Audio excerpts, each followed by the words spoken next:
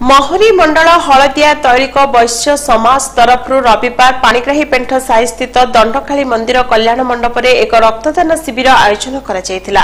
ଏଥିରେ ମୁଖ୍ୟ ଅତିଥି ରୂପେ ବ୍ରହ୍ମପୁର ବିଧାୟକ ବିକ୍ରମ ପଣ୍ଡା ସମ୍ମାନିତ ଅତିଥି ଭାବେ ଜିଲ୍ଲା ବିଜେପି ସଭାପତି କାହ୍ନୁଚରଣ ପତି ବିଶିଷ୍ଟ ବ୍ୟବସାୟୀ କବିରାଜ ସାହୁ ଶିବରାମ ସାହୁ ନାରାୟଣ ସାହୁ ଦିଗପହଣ୍ଟି ଯୁବରାଜ ସିଦ୍ଧାନ୍ତ ଗଙ୍ଗଦେବ ଏନ୍ ରାଜେନ୍ଦ୍ର କୁମାର ଓ ଚିନ୍ମୟାନନ୍ଦ ମହାରାଜ ପ୍ରମୁଖ ଯୋଗ ଦେଇଥିଲେ।